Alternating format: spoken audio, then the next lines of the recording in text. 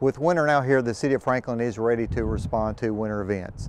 Uh, the city has got a lot of resources to help us with fighting snow and clearing the roads. We've got two salt bins. We've got one on the east side of the city, we've got one on the west side of the city.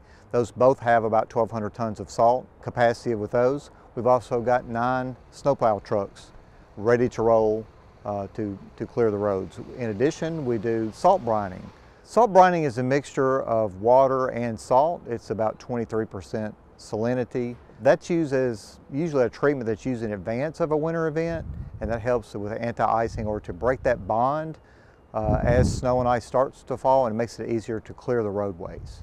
So after we've done our salt brining operation ahead of the storm, when the storm actually starts, we'll have our snowplow trucks loaded and ready to go to designated routes and we will continue to apply uh, salt as needed and plow uh, as needed for the duration of the event.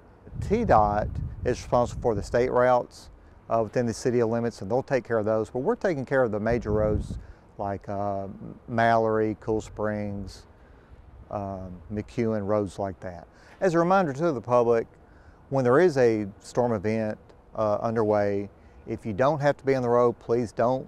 That way it helps our uh, snowplow trucks be more efficient in responding and helps us to ensure the roads are kept clear. It also ensures that emergency responders can get to situations more quickly.